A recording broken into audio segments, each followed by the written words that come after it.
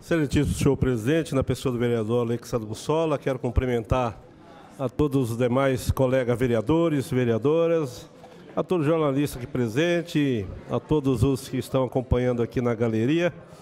E também, senhor presidente, cumprimentar carinhosamente o nosso povo brasileiro, em especial os nossos caminhoneiros. Muita alegria, a gente cumprimenta aí a todos vocês. Iniciando a minha fala aqui, senhor presidente, para que depois realmente eu dou mais uma fala sobre essa questão das greves, né? Eu gostaria de uma coisa rápida aí da TV Câmara que me ajudasse diante de diversos assuntos, né? Eu vou ver se eu consigo aí concluir. Iniciando aqui por uma visita que nós tivemos ali com Lions Norte, ali na, no Jardim Bela Vista, na quadra 12, especialmente uma região de um terreno público da prefeitura que se encontra precisando de uma manutenção. E também o Lions tem a, o seu interesse de trabalhar em parceria com a prefeitura, é uma via também ali que está sem asfalto. São duas quadrinhas também que o pessoal tem reivindicado e nós visitamos esse local e, portanto, fica aí já uma solicitação da prefeitura que providencie, a gente já encaminhou, juntamente o vereador Sandro Bussola também, que tem né, um, um contato também naquela região lá também, tivemos conversando, estamos juntos nessa empreitada. Outro assunto, quero aqui compartilhar com todos, mais uma vez o prefeito, através da sua administração, conseguiu entregar aquele salão ali na região do Gasparini, um salão, um centro popular de esportes, inclusive já está aberto com as práticas de capoeiras, karatê, ginástica e outras mais. Inclusive, quero é, estar aí, a, né, a população já utilizando o espaço. Quero agradecer à Prefeitura por mais uma vez disponibilizar áreas que agregue a oportunidade da comunidade de utilizar maiores informações, o nosso gabinete está à disposição e também a CEMEL. Eu acho que a comunidade do Gasparini lutou muito para que isso realmente viesse ser entregue e nós tivemos lá no último domingo, juntamente com o seu prefeito, vice-prefeito, Toninho Jimenez, secretário Vanderlei, outros secretários também, diretores, cumprimentar companheiro Faísca, diretor ali da CEMEL, que tem realmente nos atendido para que realmente essa solicitação fosse concluída. E outro assunto, também estivemos reunido com a Indurb ali na região da Nova Bauru, senhor presidente. Aí já é outra região da cidade, núcleo Nova Bauru, sobre a melhoria do itinerário do transporte público naquela região. Nós tivemos reunido ali com os moradores e usuários do sistema a fim de melhorar. A Indurb está na sensibilidade de nos atender e atender os pedidos da comunidade, do usuário, porque eu vejo que o usuário tem vez, tem voz, para que realmente possa melhorar, uma vez que a região está sendo agraciada com a pavimentação. E outro assunto também, quero aqui até já conclamar a toda a população de Bauru sobre a campanha do agasalho, embora a prefeitura tenha as suas ações, né?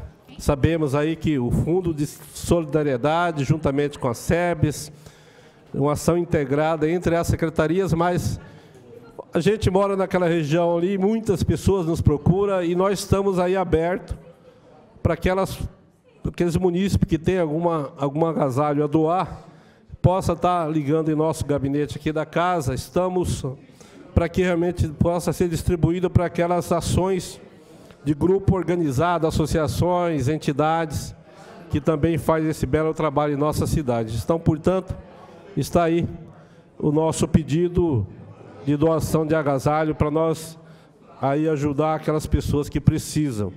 É mais uma ação conjunta para que a nossa população, essa população que procura e a gente ajude. Agora, senhor presidente, falando aqui em relação, senhoras e senhores vereadores, é todo sabido que nós vivemos um momento crítico, nos momentos difíceis. Boa parte, eu creio que dos vereadores, para não dizer unanimidade, sabe que Bauru praticamente para quem precisa do gás de cozinha, está sem o gás. Para quem precisa de utilizar né, as suas cômodas ações ali no interagir da cozinha, obviamente vai ter dificuldade, eu creio por algumas semanas, porque a greve dos caminhoneiros continua, uma vez que neste domingo à noite, como já foi informado aqui pelos que me antecederam, o presidente Michel Temer não foi sensível às propostas dos nossos caminhoneiros. Infelizmente.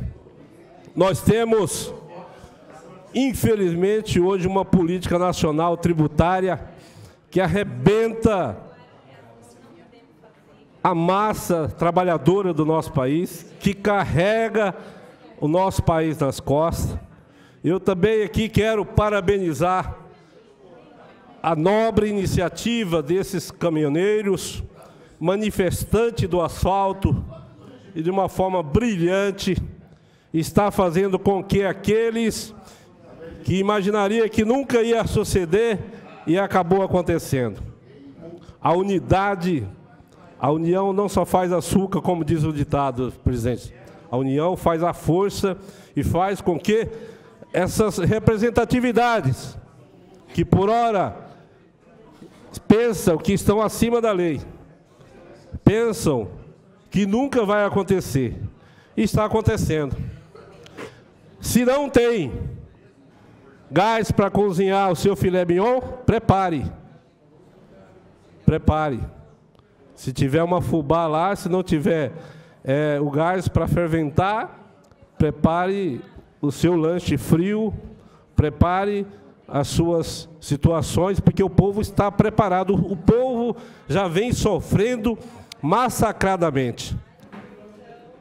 Com a falta de um atendimento ilibado na área da saúde, com a falta de atendimento na área da educação, com a falta de atendimento humanizado na área social, e tanta bandalheira tanto corrupto que nós estamos vivenciando nessa política brasileira.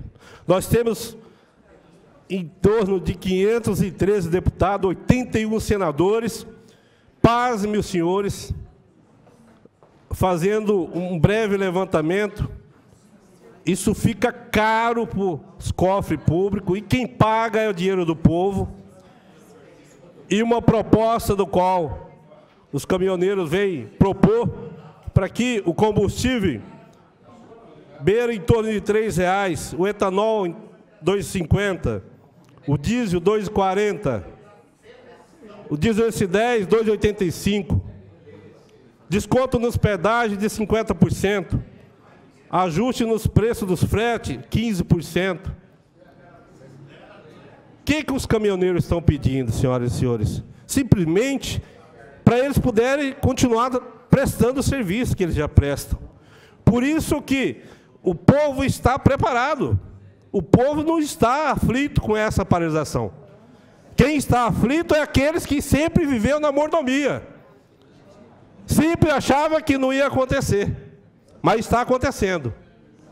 Porque o trabalhador está perdão da palavra, de saco cheio de uma política, infelizmente, que sangra o seu salário, o seu baixo salário. Que muitos caminhoneiros simplesmente só trabalham para ele sobreviver. E olha lá, quando precisa de um apoio, de um atendimento na área pública, ele sabe e, e, e sente na pele o descaso que é. Infelizmente, muda Brasil. Precisamos de pessoas na política que tenham sensibilidade.